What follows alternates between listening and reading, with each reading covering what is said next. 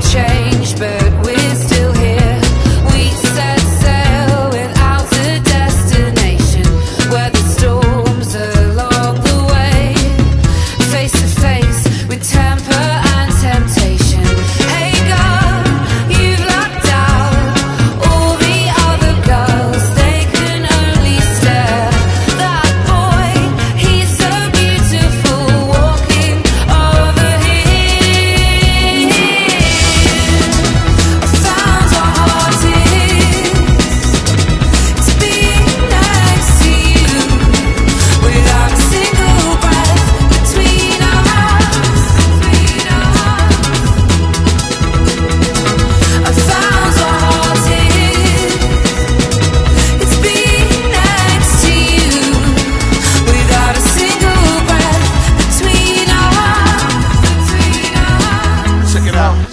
tell you about this girl named Rose. She just got sensation.